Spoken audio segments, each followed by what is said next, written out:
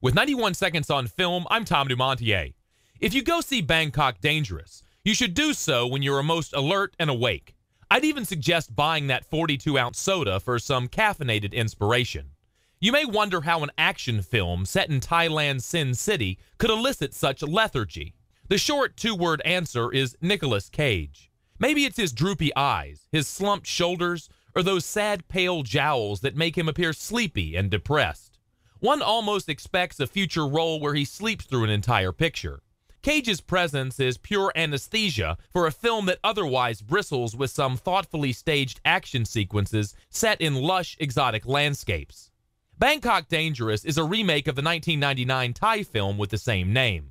The original brought the Pang brothers notoriety when it captured the International Critics Award at the Toronto Film Festival.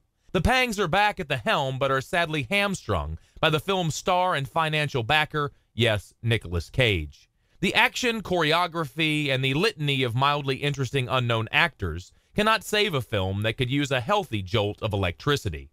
With 91 seconds on film, I'm Tom Dumontier. 91 seconds on film is heard Thursdays and Saturdays at 2:20, Friday mornings at 9:20, and Friday afternoons at 5:20.